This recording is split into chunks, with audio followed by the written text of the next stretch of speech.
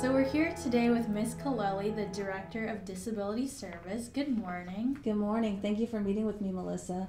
A lot of students had questions about what we do in disability services, so I like to answer them. My pleasure. So tell me what Disability Services does. We do a lot of things here in disability services, and we cover any student who has a disability, whether it's sensory, physical, um, mental health, or learning disability. Things that we do for them, um, we give accommodations such as American Sign Language interpreter. They can have a dog when they're testing and small group for testing. We also help them find a career that fits them best. Um, sometimes we have limitations or we have skills that help us. Uh, we'll be better at some careers than other careers. We also do mental health counseling, and we're also a big advocate for communicating with their professors. Um, if the student has a disability such as autism um, or Asperger's and they have, find it difficult to communicate with professors, we help them uh, with those skills. Okay, that's awesome. So tell me, will my transcript show that I was part of Disability Services? Not at all. Okay, that's good to know. Mhm. So will the other students in my classes know that I am disabled or part of Disability Services? No, we don't disclose any disability to anybody in the classroom. No students will know that the particular student has a disability.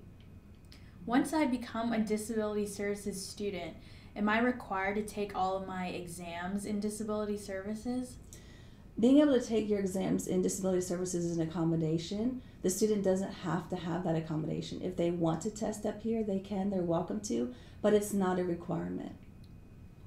So, once I submit my documentation to become part of disability services, who has access to my documentation?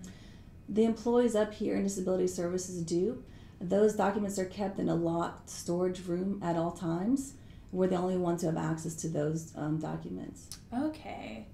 Um, are my teachers made aware of my disability once I become a client of disability services? No, under Americans with Disabilities Act, we cannot tell anyone what their disability is. Oh, right. So, how long do you keep my documentation after I graduate? Usually, we like to give the documentations to the student upon graduation. If we're not able to do so, we keep those records between three and five years. If there's an appeal at any time while the student is here on at CF, we have to keep it for five years. If there's no appeal, we can shred it at, at year three. Okay, that makes sense. So, will my accommodations transfer with me when I leave CF?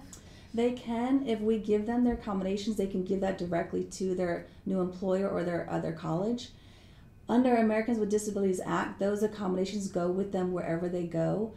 Um, different institutions and different employers may give them different accommodations, but since they are under, um, since they are disabled and they're under Americans with Disabilities Act, no matter where they go, they have those same rights. Okay, thank you Yeah. so much for all the information, and we look forward to seeing you again soon. Thank you, Melissa.